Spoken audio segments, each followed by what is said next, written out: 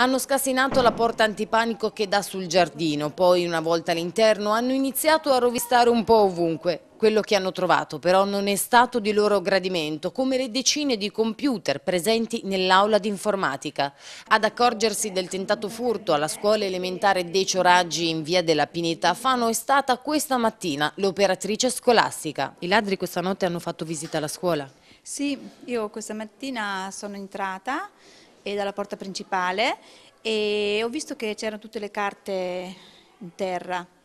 E allora a quel, punto non sono entrata, ho telefonato, ho chiamato subito il segretario Tarini e che lui è venuto subito, è arrivato e dopo abbiamo fatto tutto il giro della scuola e abbiamo visto che cosa era successo. Poi in attesa dei carabinieri i bambini sono stati fatti attendere nell'atrio. Durante il giro di perlustrazione si sono accorti che anche la cassaforte era stata forzata con un cacciavite e che una finestra della classe terza era spalancata, probabilmente la via di fuga dei ladri. La cassaforte non sono riusciti ad aprirla, hanno tentato di scassinarla però non ci sono riusciti.